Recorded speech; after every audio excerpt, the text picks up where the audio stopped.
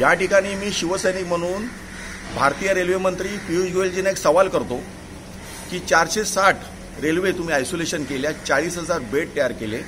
मुंबईतील कारशेडमध्ये माटुंगा लोअरपरे महालक्ष्मी कारशेडमध्ये आमच्या रेल्वे कामगारांनी दिवसरात्र एक करून लॉकडाऊन काळामध्ये सुट्टी न घेता दिवसरात्र एक करून चारशे साठ रेल्वे आयसोलेशन करून दिल्या. त्यामध्ये चाळीस हजार बेड तयार केले. ते गेले कुठे? आज मुंबईमध्ये महाराष्ट्रामध्ये रुग्णांना ॲडमिट करण्यासाठी हॉस्पिटलमध्ये पुरेशी जागा नाही आहे आणि आता अशी असताना ह्या रेल्वे बनवलेल्या भारतीय रेल्वे मंत्रालयाने लाखो करोड रुपये खर्च करून त्या गेल्या कुठे? असं समजायचं का? करोड रुपयाचा त्यांनी चुराडा केला. दुसऱ्या परराज्यामध्ये त्यांनी पाठवल्या.